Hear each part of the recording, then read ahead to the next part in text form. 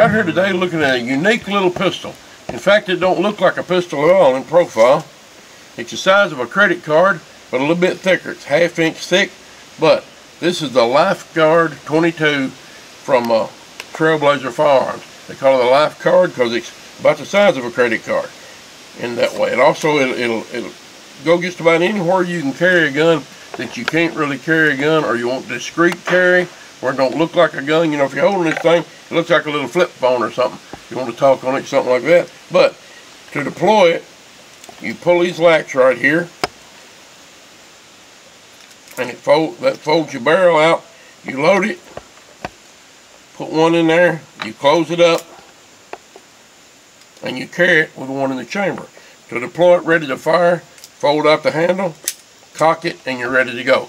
Takes four or five seconds from time you pull it out of your pocket till you're ready to go. But it gives you a gun when in some places you couldn't have a gun.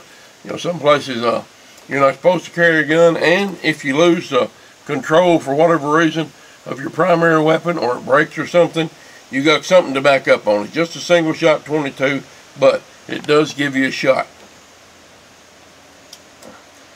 Folds back up, same way. Goes back in your pocket. It fit in about any pocket, shirt pocket, anything like that. Fit into a little Marlboro box.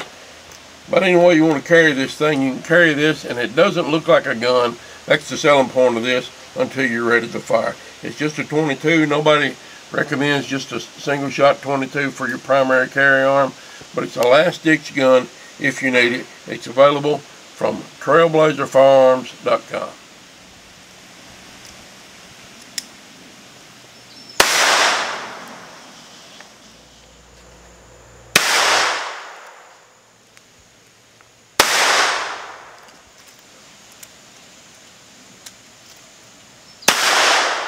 So when you're ready to reload this thing, it's of course single shot, but you've got right here ammo storage in here to hold four extra rounds in the grip of this gun.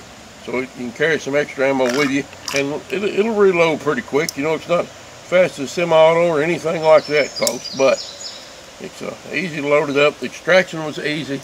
Had no problem at all. Extraction, the empty ones, you just pluck them out and uh, that's pretty much what it is. It's just a close range, last ditch little gun.